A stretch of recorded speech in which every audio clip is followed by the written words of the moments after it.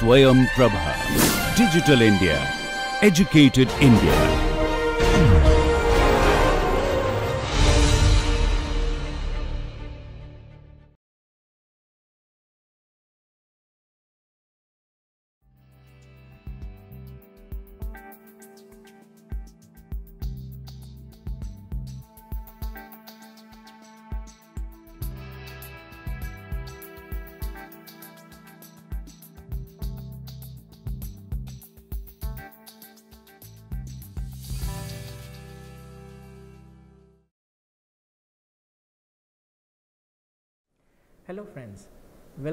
To this follow-up session on uh, mental imagery and visual imagery. So in the last class uh, what we saw was what are visual images and what is imagery and we looked at uh, what are the pitfalls of using imagery and why imagery studies uh, were uh, negated in the beginning of uh, psychology. So, uh, several reasons for example, imagery cannot be uh, verified, it is very personal. Also imagery, uh, mental imagery is, equi is equivalent to a picture and so uh, that is one concern. Uh, we cannot see imagery and we cannot actually verify people's imagery. Uh, also the idea that there is something called visual imagery code into long term memory is also uh, not proven through experiments and so imagery studies were not taken seriously in the beginning of uh, psychology. But later on with uh, um, classical book by Allan Paivio on mental uh, representations and uh, using the dual uh, code processing model talked a lot about what visual imagery and what other different things that can be done with visual imagery. So, uh, one of the things that visual imagery does for us is it makes things easier for us, it makes retrieval of information easier for us. So, if information is stored in uh, the uh, long term memory as visual code or as visual images, it is much easier for us to retrieve it back. Uh, the reason being that visual images are more um, uh, informative and uh, are more easily accessible and so uh, we uh, in the last class also uh, told you a lot about different types of visual imagery techniques which help you into remembering or retrieval of information. Now, some of these techniques were method of loci and the peg word method and also the method of interacting images. Now, in each of these what we actually did was uh, in the method of loci, uh, we made a mental picture of uh, space, a physical space uh, that we are very familiar with and what we did was the uh, things that we need to learn was taken in and then packed onto or tagged onto certain locations of this well known space. Now, in uh, this way when we remembered the space and certain locations in the space those things that we wanted to retrieve came back to us. Now, in the uh, interacting images technique, what we did was we remembered two bits of information uh, as images and then we combine these two bits of information into an interactive image. For example, remembering a dog or a pipe. Uh, how do we remember that? So, imagine a dog, imagine a pipe and then go ahead and combine them together by imagining a dog smoking a pipe. Now, it is funny, it is novel and things which are novel are remembered uh, much better than things which are routine. That is uh, novelty is something which the brain treats as uh, interesting or uh, as more uh, uh, as, as more retrievable. So, novelty is the reason why it is retrievable. Now, in the third method, the peg word method, we specifically did not use imagery. What we did was, we used a technique in which kind of uh, uh, routine ordered list which we have rote memorization of was used and things were then tagged onto this list. And so, basically um, what we could do is uh, how these lists, lists are this rote uh, memorized lists uh, it could be lists that we uh, learned in nursery as nursery rhymes for example 1 2 3 4 5 6 7 8 or a b c d kind of a thing. And then we tag on these uh, rote uh, memorized list onto certain uh, information that we want to stick into it. And so that is what uh, we did. So, 1 2 buckle my shoe. 3 4 shut the door. 5 6 pick up the sticks. 7 8 lay them straight. 9 10 a big fat hen kind of a thing. And so uh, there is a target and there is a cue. And the cue is 1 2 3 4 that is the memorized list. And the target is the uh, words that you have to remember. Now, beside that we also saw um, uh, several conceptualizations or several uh, reasons which were given of how these mnemonic techniques.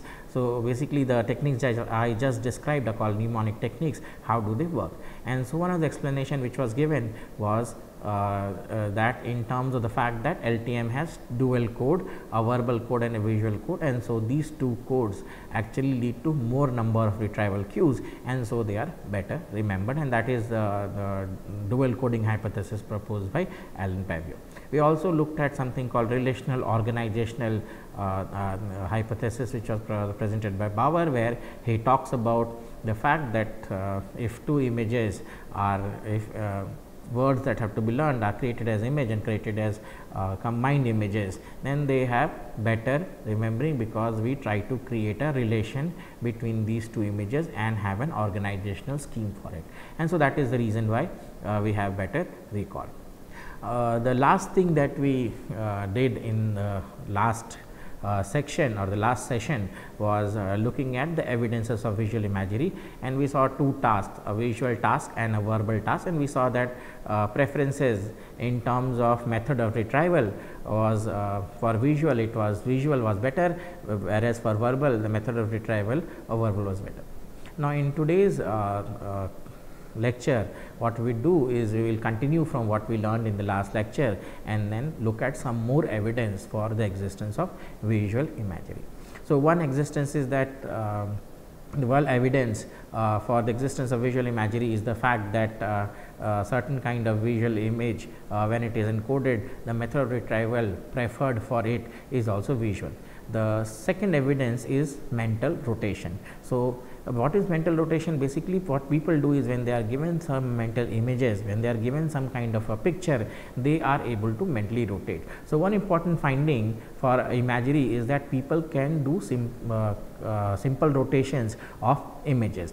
Uh, for example and they can mentally transform them. For example look at this. Now this kind of rotation that you are seeing of a basic curve of a, uh, a, circle can be done mentally. And so this people take in images and they can mentally rotate them. And so if uh, we can test the idea or if we can provide evidence for the idea that people go ahead and transform these images or if we uh, can come up with solutions uh, in terms of the fact that uh, give them give people certain uh, certain uh, instances in which ask them to rotate a mental image and give them certain instances to verify whether uh, these images will fit into the model of their transformation or whether the sequence uh, give them a sequence uh, out of their rotation and if they match then we can say that people form mental images and they also rotate them.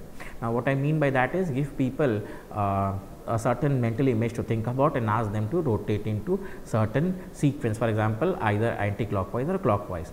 Now, once they are doing that uh, give them a certain sequence uh, of rotation a certain uh, sequence of rotation from the uh, original angle of uh, rotation and ask them to verify whether this is a part of their mental rotation. Now, if they could verify and the time that they took to verification will lead us to certain kind of uh, fact that people create mental images. So, uh, to start with the idea and this is exactly what one of the um, Lee and Cooper actually uh, went ahead and did this experiment to prove that uh, people do form mental images and rotate.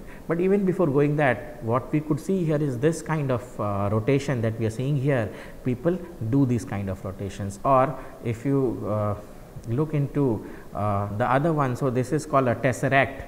A tesseract is basically an uh, four dimensional image and a four dimensional image rotation. So, people can also go ahead and rotate images in multiple dimensions and so this is an existence or this is an evidence for the existence of mental imagery or you would have uh, seen images like this. So, these are called uh, in very basic games uh, these kind of images are used and so these images uh, uh, uh, it's, it's called Tetris. Uh, there is a game out there which is called Tetris, and so this kind of rotations can be done. People are able to rotate. So these are the standards, and people are able to rotate these standards into these kind of uh, rotational sequences they can mentally rotate that. So, uh, these are questions which you would have found uh, in some of your exams, uh, some of your uh, competitive exams where you get the sequence, uh, one standard sequence and then a couple of sequences are given to you where it is asked whether this sequence, what is the next sequence from this sequence. And so, if you look into it, what is the next sequence that you should get for this sequence? Obviously, the answer is A here because this is the one sequence which can happen. So, if you rotate it by say uh, almost 70 degree towards clockwise this way on this axis if you rotate it by 70 degree you will get this sequence. And so, this basically the existence of the fact that you can come up with an answer A uh, by rotating this to through an axis by 70 degree is the fact that people are able to do mental rotation. Similarly, for this kind of image you can do rotations like this. Now, this kind of tests were done by uh, Shepard and Metzler and what they found out in their experiment, they showed that participants uh, uh, they uh, uh, can rotate line drawings of three dimensional objects. So, in this uh, in their experiment they uh, took participants and they gave them simple line drawings like this. So, these kind of uh, line drawings are given to people and they were asked in these subjects were asked in to basically verify whether which one of these line drawings can actually be the next occurrence or the next sequence from this one. So, this is what um, uh, your Shepard and Metzler actually experiment was all about. And if we are able to prove that people can exactly go ahead and uh, find an answer which basically means that people are rotating uh, mentally rotating images and that lead to the fact that people are able to create mental imagery or the evidence of mental imagery is established. So, they gave people this kind of line drawings and they asked people to rotate this in three dimensional axes. Now, in each trial the subjects would see two type of drawings. So, two type of drawings were shown to people. In the first the same object with one rotated to some degree. So, you either have uh, so, the first one as you see here is basically the same object which is rotated to some degree of rotation. So, as I said if you rotate it 70 degree you will find this is a 70 degree and so same image is there and it is being rotated. And here in this case what has happened is the original image is being rotated as mirror image. So, the mirror image of uh, this is being so here the original is being rotated and here the mirror image of this diagram is being rotated to certain degree, uh, certain degree. So, what Shepard and Metzler did was they took these kind of simple three uh, dimensional line drawings and gave people to verify certain sequences uh, by mentally rotating this image. And so, one of these was the same object with, um, so one of these experiments had uh, rotations of the same object uh, which had been rotated to some degrees. And in the other case the mirror image uh, in the other case uh, mirror image uh, or reversal with or without rotation was used. So, the same image the image was taken a mirror image of this image was uh, the original image was taken and that was rotated to certain degrees. So, either a mirror image was there or the mirror image rotated to certain degree was there and people were, need, uh, were asked to verify whether which of these sequences fit to the original sequence uh, through rotation. Now, the result of the experiment what it showed is that the amount of time that participants actually took um, in deciding whether the same object has been rotated or a mirrored image reversal was there was directly proportional to the angle of rotation between the drawings. So, more the angle of rotation or higher the angle of rotation the higher the time uh, people required because uh, the more the angle of rotation the more kind of rotational dynamics you have to use in your uh, in your uh, mentally and then more time you will require. If simple angles of rotations of 90, 180 or 360 are used, uh, then it is easier for you to rotate it, but if a uh, angle of, uh, uh, let us say 60 degree or 75 degree is used, now that type of rotation takes a long time because these 45, 90, 180, 270 or 360 are Mm, uh, huge angles that we see around us and so it's kind of uh, perpendicular angles or popular angles and so it's easier for us and so what people from one, what uh, Metzler found from their experiment, Shepard and Metzler found from their experiment is that people were able to verify, but then the time period for verification depended on uh, how much the angle of rotation is. Also, there is a close relation between the angle of rotation of the drawings and the participants reaction time uh, strongly suggesting that people form mental rotation. So, that is what we were doing uh, or that is what I was actually trying to tell you that people were actually mentally rotating and so this evidence uh, or this experiment basically provides evidence to the fact that people use mental imagery. That people go ahead and um, uh, form mental image and not only form mental images they also go ahead and rotate these mental images. And so that's what uh, fact is or uh, the evidence for mental imagery is. And so this kind of images were also used. So these are the uh, ones which are used uh, by Shepard and Metzler and uh, this is mental rotation task based on canonical rotation. So, basically images in mirror image kind of a thing. So, these are three dimensional line drawings and these are two dimensional line. So, another question which puzzled researchers was uh, so, basically uh, what we found out up till now is that Shepard and Metzler they established the fact that people were able to rotate an image mentally, form an image first of all and then rotate them mentally to certain degrees and that was evident from the fact that how much reaction time uh, people were taking and that was directly proportional to the angle of rotation.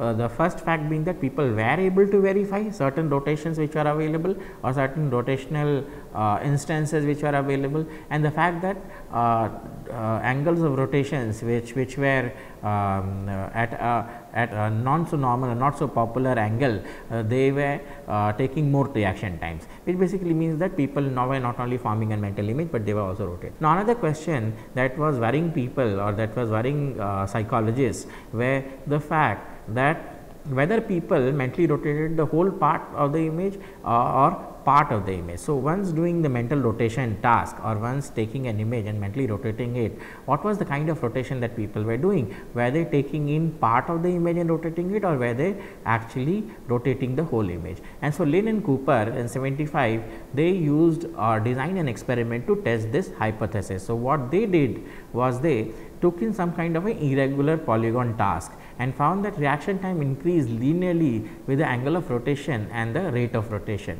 uh, being same for all the polygons regarding of the complexity. So, basically the, uh, the idea that they found out the results that they found out first let us see the task that they have. So, this is the uh, kind of task that they have. These are the irregular uh, polygons. So, you have a 6.8 point, 12 point, 16 point, 24 point uh, polygon. This is the standard form of the polygon and then you have the reflected forms of the polygon. Uh, these are the mirror images. So, reflected forms is basically mirror image. So, different mirror images were there and so these mental images or these uh, uh, polygons were taken in. So, this was the standard first uh, 6.8 point polygon and certain instances were given to people to test whether this fits into the scheme, whether uh, target um, rotational image that was presented to them could be possible in the rotation uh, in the kind of rotation that they are doing to the mental images. So, three were used a standard form was used a reflected form was used and uh, rotated test stimuli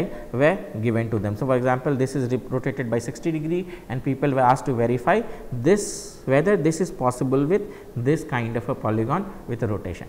The question that stand uh, that uh, was being asked or that was being investigated was the fact that do people uh, rotate the whole image or partial image. And so, the results that Lin and uh, Cooper got uh, from these experiments was they found that the reaction time they increased linearly with the angle of rotation and the rate of rotation. Uh, so, basically the kind the, the speed at which the rotation people were performing and the angle the uh, kind of angle that they were rotating uh, it to. So, 45 90 degree were easier, but if uh, an angle of 75 80 or 95 degrees are used then people were taking more reaction time. Also with this the speed of rotation dependent on this thing and also uh, the reaction time was uh, and in this case uh, the rate of rotation for all the polygons regardless of their complexity. So, the fact is no matter whether it is an 8 point polygon or a 12 point polygon or a 6 point polygon, people were facing difficulty all along in terms of that the angles of rotations were at uh, abnormal angles then people were taking more time. Now in another study, so basically this proves the fact that people rotated the whole polygon instead of rotating parts of it people were actually rotating the whole polygon. So this uh, study uh, demonstrates the fact that even if it was a 6 point, 8 point, 10 point or 12 point polygon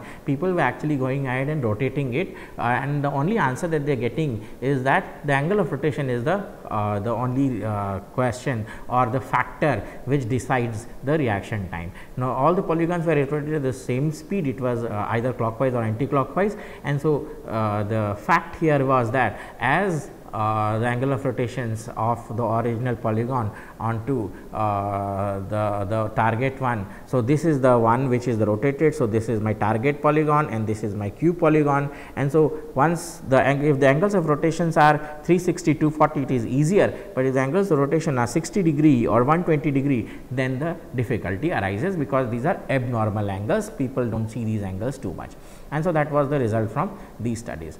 Now, another study Cooper did in 76 uh, showed that mental rotations like physical rotations are continuous in nature. And so, what they did in this study, so uh, they wanted to study Cooper wanted to study whether uh, these mental rotations were continuous in nature uh, in the sense that do people rotate in a continuous form. So, if I ask people if I ask someone to rotate take a mental image of something and rotate in clockwise direction do people rotate in in continuous nature and to test this they designed an experiment in which they presented people with um, with instances from the rotation. So, let us say uh, if I have an image uh, like this and I ask people to rotate this clockwise starting from this is 0 degree and uh, when people are rotating it I will stop them somewhere here uh, at, at some point of time let us say 2 minutes into uh, the rotation I will stop them and then I will show them a, a figure like this which is uh, let us say 60 degree rotated to the origin. So, this is the original angle. So, 60 degree rotated to the original angle. So, this is my original figure then uh, uh, this is at a 0 degree then I rotate it by 60 degree let us say this is 60 degree to the original angle. So, this angle is 60 degree and here is my rotated image. So, my rotated image will be something like this and so pe people were given this kind of images in between to verify whether this is there or not and this is was the experiments and so they found out that people were actually able able to verify that which basically means that people were continuously rotating this polygon. They were not rotating it at certain angles. They were continuously rotating it. And the method that they used to test this was they stopped people at certain points of rotation and presented them with a uh, instance of rotated image and ask them to verify whether this can exist or not or this is a part of their rotation or not. And so, this is a very simple task and so people were able to verify and which basically means that they were people were rotating it continuously any image they were rotating it continuously. Also cognitive psychologists they started searching how people recognize objects presented in unusual angle. So, basically something is presented into an unusual angle let us say at a 95 degree. So, how do you recognize that an object? So, one possibility that was available to psychologists was to, uh, that mentally rotate the image till it reaches the orientation of uh, uh, depiction or that uh, distinctive geons of the object remain visible, we can recognize them with rotation. So, basically uh, if something is presented at an uh, abnormal angle, uh, how do people recognize it? So, one proposal was that people actually either rotated it to uh, continuously to the uh, to the point at which the rotated image is exact match with the original image of uh, original image which is presented to you as target or what people were doing is they took the object took away the geons and rotated the geons to look into it.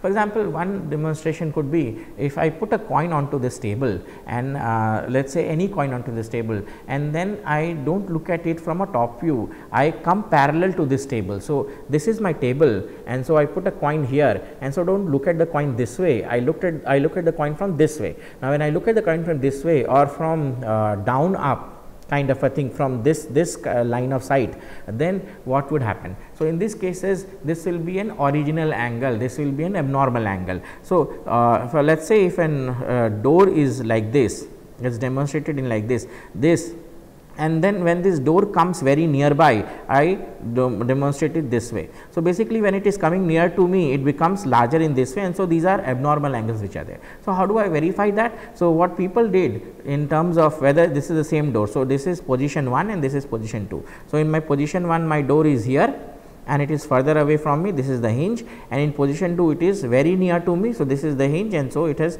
uh, this is how the door looks like. So, how do I verify it uh, uh, this door at, uh, at a irregular angle? What I really do is I either there are two ways to it I either I rotate this door into a clockwise direction till it matches this particular figure this is one view or that distinctive geons of the object remain visible and we can recognize them with rotation. So, the idea here the geon here is a rectangle. So, a rectangle is the geon which forms this door. So, what I do is this rectangle is still visible to us whether it is lopsided or not whether this rectangle is bigger or smaller is not the question. The question here is whether this rectangle is visible to us and so if this rectangle is visible to us we can then rotate this geon and actually think that the door is uh, being shut or it is being moved towards me or away from me. And that is how uh, this uh, Steven Pinker and Tarr in 1989 they gave an explanation to the fact that how do people actually recognize object at unusual angles. And so, this is the uh, image that uh, uh, was used uh, by Lane and Cooper and so this is the original image, this is the mirror image and this is the image which is uh, tested across various angles. So, 60, uh, 60 to 40 and 120 are angles which are abnormal angles, 180 and 360 degree are uh, so, 180 would be uh, basically a mirror image and 360 degree will be a complete rotational uh, of image of it and so this is how people actually use it. And so, looking at this demonstration, so basically what we are looking at is this figure being rotated in a different plane and at different angles. So, this is basically how people go ahead and rotate it and so this is how mental rotation of images exists. And so, this mental rotation of images, the fact that we can verify certain uh, rotations uh, uh, provide enough evidence for the fact that people do form mental images and mental imagery is actually a code which can be used. So, let us then look at some other aspects of this mental imagery.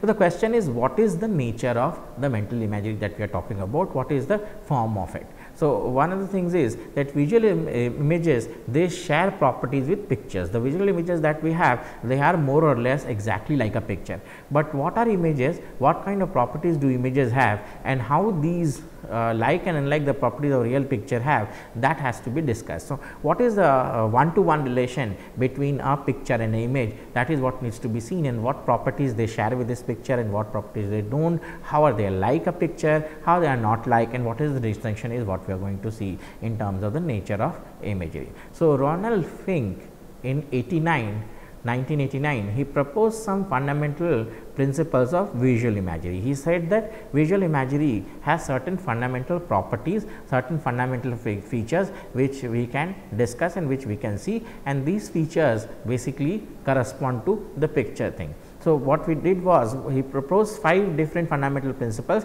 and they took visual imagery, he took visual imagery in pictures and compared them across. So, what are these five uh, features of a mental image.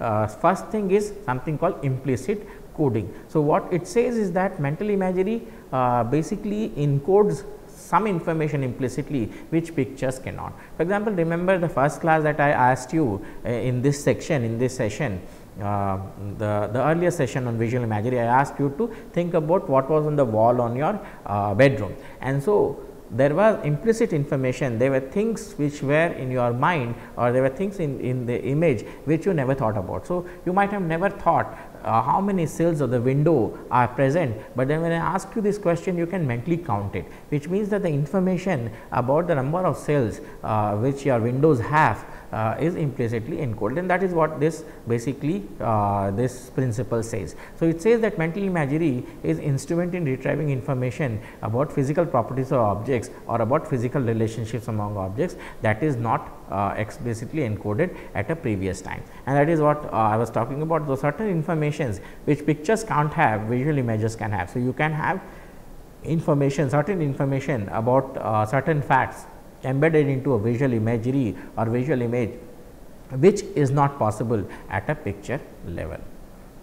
The second thing is that perceptual equivalence. How a visual image is equivalent to a picture? It has perceptual equivalence. For example, it has been found that uh, imagery is functionally equivalent to perception of uh, the extent that similar mechanisms in the visual systems are activated when uh, objects are events are imagined as when the same objects or events are actually perceived. So, there be certain uh, there were studies which were done certain new studies which were done uh, within fMRI and it was found out uh, that the same areas of the brain get activated except the visual eye system which takes in new information when you imagine something. So, if people are asked to imagine a coffee cup and people are uh, shown a coffee cup, the way they perceive these two th things together, the number of areas, the kind of connections that these areas have are exactly the same. The same brain regions get activated, the same kind of connections are activated and so uh, what happens is that imagery is more or less same as uh, looking at a picture or looking at something which is out there. So, it is imagery is basically same as looking. The only difference being that there is no input. The input system is not there. The same visual cortex the same uh, areas of the brain which verify an image which does object recognition which uh, lets the frontal cortex know what it is and then come out come up with a decision of what possible objects could the visual imagery be all those areas are the same and they get activated the same uh, way, but the only the input system which is the eye is not activated and so in this way visual images are similar to an picture.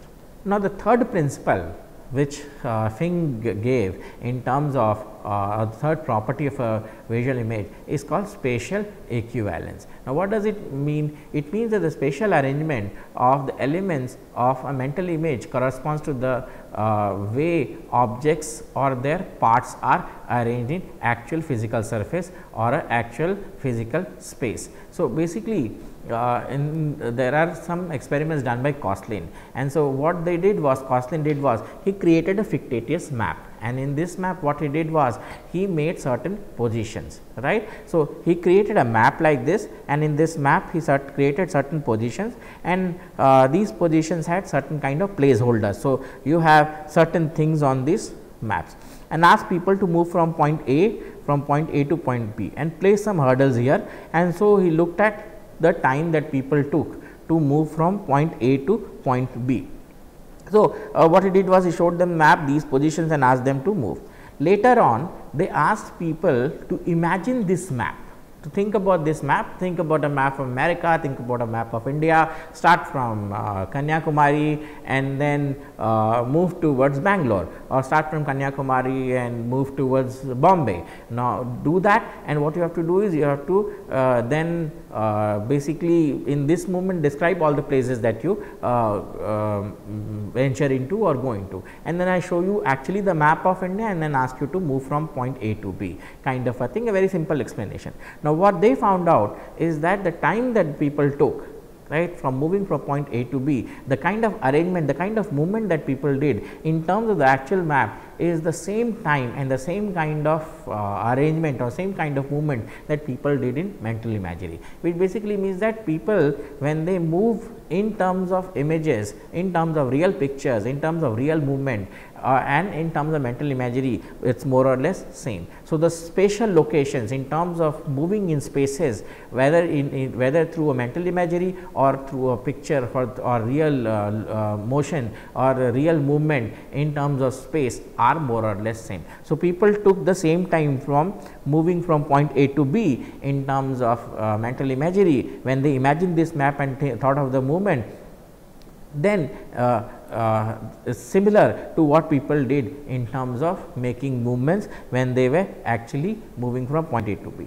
Or the, uh, another experiment was done where they uh, where uh, Kosslyn showed people a flower uh, rather a tree and asked them to move from the top of the tree and start naming right. So, start naming what is at the top of the tree towards the bottom to the root start naming all the uh, uh, things that you find and so the time that people took and the number of uh, the elements that they kept on saying when they move from the top of the tree to the bottom of the tree or top of a flower to the bottom of a flower then the, um, uh, the number of elements that they said that the flower possessed uh, when moving from the top of a flower towards its stem or top of a tree towards its root was similar in terms of both in, in terms of actual spatial movement in actual movement of a flower as compared to the movement in terms of an imagery when they were asked to imagine this flower and made to move which basically means that in a spatial location in terms of spatial locations both the image and flowers are uh, sorry the image and uh, the pictures are same. The fourth uh, property is in terms of transformational equivalence. And what does it say? That imagine transformations and physical transformations exhibit correspondingly dynamic characteristics and are governed by the same laws. And it is the same experiment which Cooper did in 1976. So, what happened in this experiment were people were actually given a cube to look at and they were asked to rotate this cube uh, through certain angles then they were asked to uh, basically uh, take this cube uh, mentally imagine this cube and make the rotations and then people were tested with certain instances. What was found out that the same amount of time or the same amount of verification was uh, done by both uh, or the same accuracy of verification was uh, outputted when people were transforming mental images as where they were physically transforming an object. Which basically means that people while uh, imagining were also able to transform or also able to mentally rotate images and that is what we saw in the earlier examples also. So, visual images are not just static people also transform them and these transformations these rotations uh, either on the axis or across axes or different axes are similar to the physical transformations which is there. And so, the result from Cooper remember the result from uh, the experiment of Cooper 76 where they made people transform certain images onto, onto certain angles and then tested uh, certain instances with the accuracy of it, the same experiment can be used as an evidence here. And the fifth property of uh, Finke of visual images is called structural equivalence. Now, what does it means? The structure of mental images corresponds to the actual perceived images. And so, in this case uh, Kosslyn and Farah and Frege they gave people certain structures, certain images uh, which had very uh, uh, bleak structure and certain image which has complex structure. For example, they showed people uh, let us say uh, the drawing of a fish, uh, I am not very good at drawing, but drawing of a fish like this and so it has very less detail or they showed people the drawing of a fish like this which has scales like this right and uh, this kind of fins and other things here. So, this is a complex image because it has more details into it and this is a simple image which has lesser details into it. So, when given people these two kinds of things and ask uh, and, and then ask them to retrieve more time was taken by people to verify to actually uh, make the structural verification or to actually uh, perceive this one the complex picture as uh, compared to the simple picture. Now, in terms of imagination also when people were asked to imagine a fish like this with these many features, they took longer time to imagine a fish like this or they took uh, more time uh, for complex image imaginations than imaginations of simple images, which basically means that in terms of structure also in terms of uh, the fact that when people imagine they imagine with complexity where they imagine uh, complexity with more time. The more complex a picture is take, takes more time because more number of elaborations have to be done. And so this idea of more number of elaborations are also in present in visual imagery which means that the same kind of verifications in terms of complex and simple images happen both for the, uh, the picture for the physical transformations as well as mental transformations. So, five different kind of uh, things to look at uh, again reviewing quickly back into what uh, it is all about and so uh, the five thing first visual images have implicit coding. So, it has implicit informations into it which pictures do not then perceptual equivalence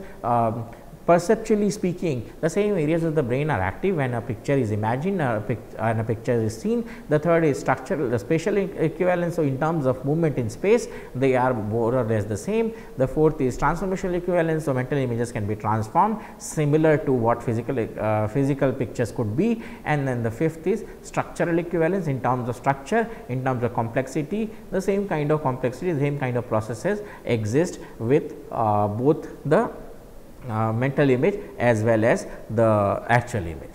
Now, there are certain critiques to this mental imagery, uh, certain uh, criticisms which have been there to this mental imagery. And what are these criticisms? So, there are three main criticisms. First is tacit knowledge and demand characteristics. So, basically mental imagery has been criticized on certain uh, factors. First is the tacit knowledge, people have some kind of knowledge or people gather some kind of knowledge uh, from experimenters in terms of transformation. So, that is one thing and demand characteristics is certain task mental imagery task demand certain characteristics or demand certain uh, kind of uh, uh, response from people. So, that is one thing and so that is how uh, it is looked at. The second is the picture metaphor where a comparison between picture and mental image is done and the third is the propositional theory. So, let us look at these critics one by one. The first is uh, tacit knowledge and demand characteristics. And so what uh, Pylyshyn in 81 they argued that the results from many imagery studies they reflect participants underlying uh, an implicit tacit knowledge and, uh, and beliefs about the task rather than their construction and manipulation of visual images. So, what they found out or what they told is that people were actually uh, what they were doing is they were look uh, they were acting up onto something called experimenter effect which basically means that experimenter who were asking us them to do these uh, construct these mental images they were actually providing some kind of a clue. So, either mentally or either uh, physically, mentally or some form and so this was the reason why people were able to uh, create mental images or, or do all kind of manipulation into mental images. So, Finke with his example of moving the coffee cup provided evidence to uh, so Pylyshyn's cup. So, basically what was this coffee cup experiment? It is a very simple experiment and so what it was that if a uh, uh, actually uh, initiated this experiment and Finke elaborated onto it. So, what the experiment was that a coffee cup was put onto a table and it was asked to be moved from point A to point B. So, I have a coffee cup like this uh, onto this is a table and this is position A and this is position B and I want to move my coffee cup from point A to point B. Now, physically two ways are possible I will pick up this coffee cup from here and then move it over air to point B or I can slide the cup from point A to point B. Now, when I do that a certain amount of time requires. Now, when I people were asked to imagine to move this coffee cup from A to B, what Finke found out that they could do it very quickly, they actually could do it very quickly, but then people were pausing people were taking thinking about taking the coffee cup and taking the same amount of time or rather a little bit more time when moving the coffee cup from point A to B. And why was this there? They were the reason that Finke gave is that the experimenter were giving certain uh, demand characteristics or certain kind of clues which asked or which made people mentally pause the coffee cup position in their head and then take that amount of time. What they were thinking is or what their conclusion is that people actually thought that uh, uh, although this can be done quickly, but this is the amount of time it should take and so I should pause the cup mentally. And so, these type of talks uh, uh, uh the tasks are called cognitively Im, uh, Im, impenetrable which basically means that these tasks are open to uh, uh, influences from belief systems from the uh, from your previous knowledge and so on and so forth. So, what people did was people although took experimentally same time in terms of movement from point A to B on a table and in terms of imagination studies also, but it was not that people were had uh, this this is because of imagination. What really happened is that certain knowledge from uh, previous uh, uh, situations or certain clues from the experimenter made people actually mentally pause the cup somewhere and then take exactly the same time that the uh, that a physical movement would do and that is what their explanation is. Now, file in 81 they states, the, uh, states that tasks are uh, that are affected by people's belief and expectations are termed as cognitive uh, penetrable and so that is what it is. So, basically what happens is since these kind of tasks give the person doing it a chance to use the knowledge that this is the time it should took from uh, it should take from moving the coffee cup from A to B and so what they do is they actually go ahead and mentally pause it. So, it is basically not uh, the image uh, construction or the image movement which is taking up the time it is basically the mental pausing the idea that people get this clue and using this clue as mentally pausing it. Now, such task makes it obvious to participants that they ought to perform and are said to have demand characteristics. So, such tasks basically in the coffee cup moving experiment people know that it should take at least 1 second, 2 second, 5 second and so on and so forth and so what they do is although mentally they can move very quickly they pause somewhere or they take more time because to match the uh, idea that uh, this this cup should this movement should be matched to the actual time.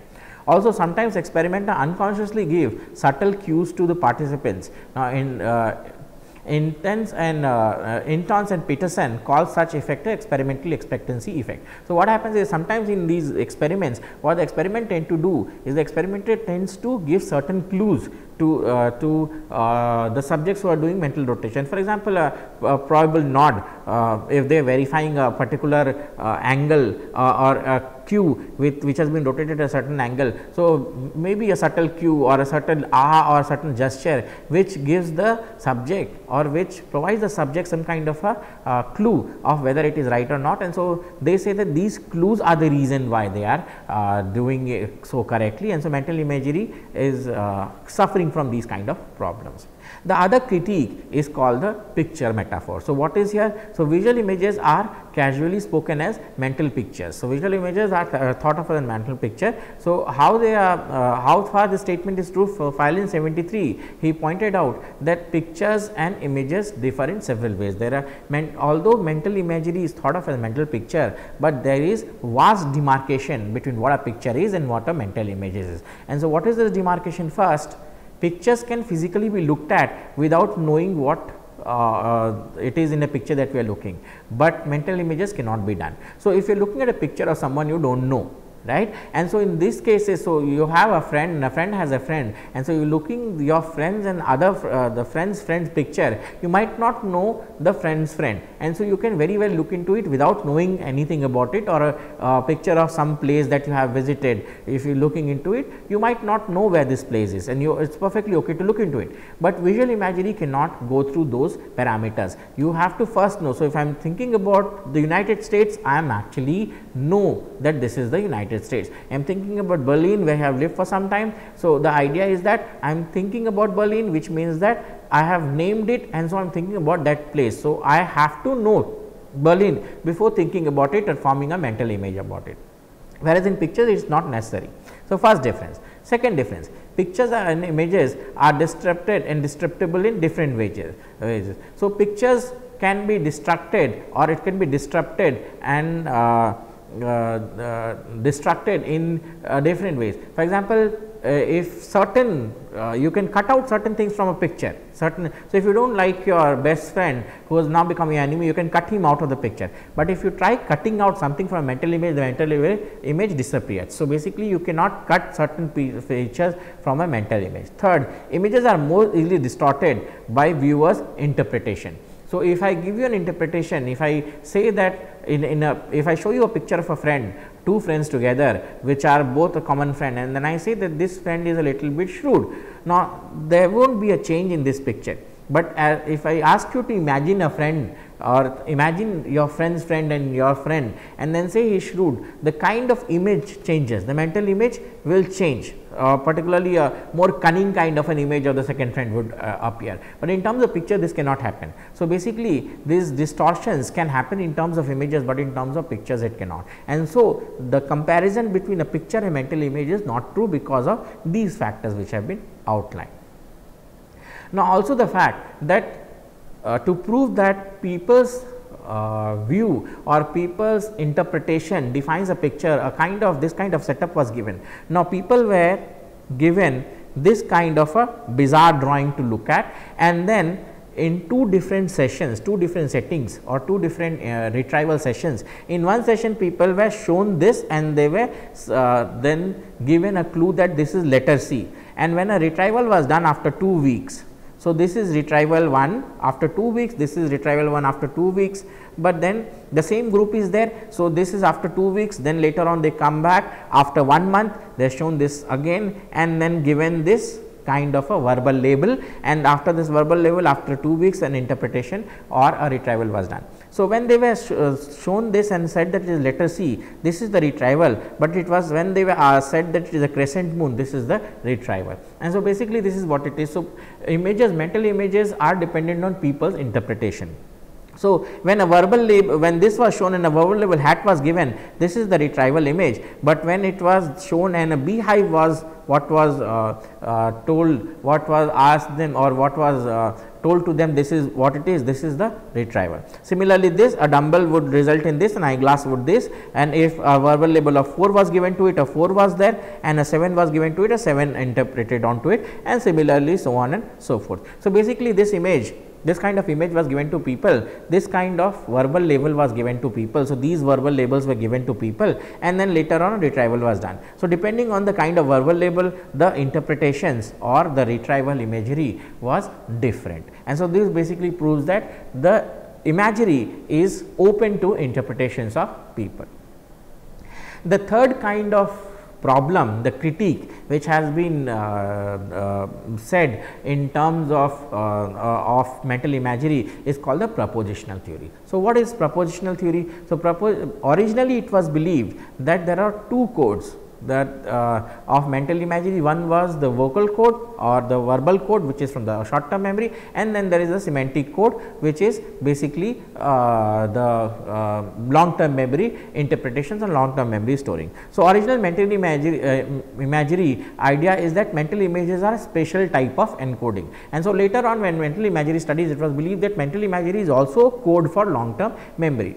Now, propositional theorists they say that it is not true. So, what propositional theory says is there are no codes, there are no ways of, uh, on which a code is saved and that is what they say. They say that there is only one kind of encoding into long term memory and that is neither visual nor verbal in nature and they suggest that the uh, suggested that the experience of having a mental image is just really a epiphenomena. And so, what is stored into uh, the long term memory is basically a, uh, a proposition and what is a proposition? Proposition are basically relationships between items. For example, if I uh, write on book and table, this is how Remember from the first class that we did a spatial equivalence. So, this is a propositional code which says that the book is on the table. So, on what is on the first object the book is on where it is on it is on the table. So, this is how codes are because this is a preposition because it makes relationship this on is a preposition which is making relationship between the book and the table and so this is how it actually goes ahead and is, is saved. So, basically then this is the code that is saved into the uh, LTM rather than a visual code and a verbal code.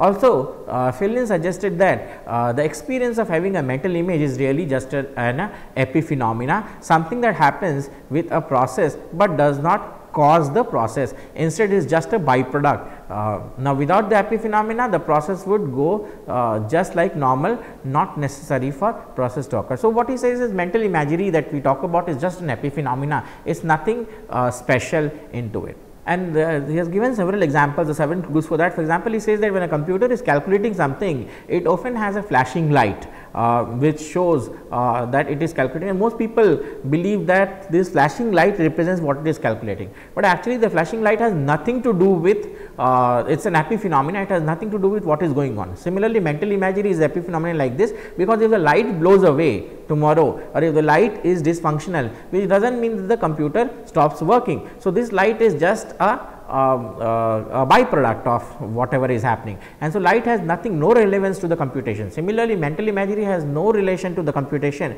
because codes that are used in mental image is basically propositional in nature. So, instead of encoding uh, instead the encoding is propositional in nature where concepts are stored as symbols and what is stored is not the physical relationship, but a conceptual one like the network model of memory. So, as I showed to you? This is the proposition and so in the proposition I have a book network, a concept and a table concept. And then the relation to this is the on concept. I can uh, basically this is the proposition which is saved, this is neither verbal nor uh, visual in nature. So, what is stored in memory in long term memory are concepts and symbols. And these concepts and symbols form some kind of a network. And uh, this conceptual network. And this is how the storing happens in long term memory. So, it would make sense that trying to scan a path from a flat to the back of the boat to the cabin would take less time than scanning from the flat to the emblem, because when we are scanning from the back of the boat to the front of the boat, to from the back of the boat to the cabin uh, is, is, is longer. So, look at this image, I am uh, if I am scanning from the back of the boat, this is where the emblem is and this is where the cabin is. So, if I am if I am scanning from the rear deck to the front deck, it has 3 levels to go from and so it should uh, there are 3 prepositions to be verified